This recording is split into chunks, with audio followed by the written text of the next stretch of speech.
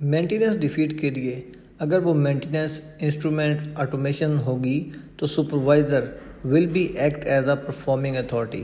जो defeat authority होगा, वो वहाँ का सुपरवाइज़र होगा। And certificate applicant for the defeat request and initiate the certificate as a defeat authority. तो वो डिफीट के लिए जो सर्टिफिकेट होगा इशू करने के लिए अथराइज होगा as a defeat authority.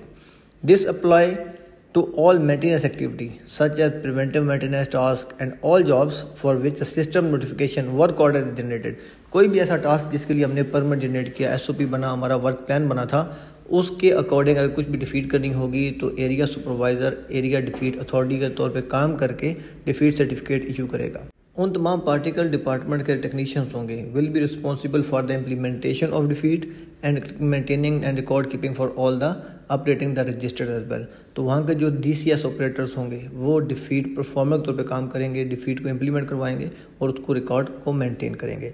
तो मेंटेनेंस जॉब में जो सुपरवाइजर होगा, वो डिफीट अथॉरिटी होगा और जो टेक्नीशियन होगा, वो डिफीट ऑपरेटर होगा। नेक्स्ट स्लाइड के लिए चैनल को सब्सक्राइब करना और बेल आइकन दबाना ना भूलिएगा।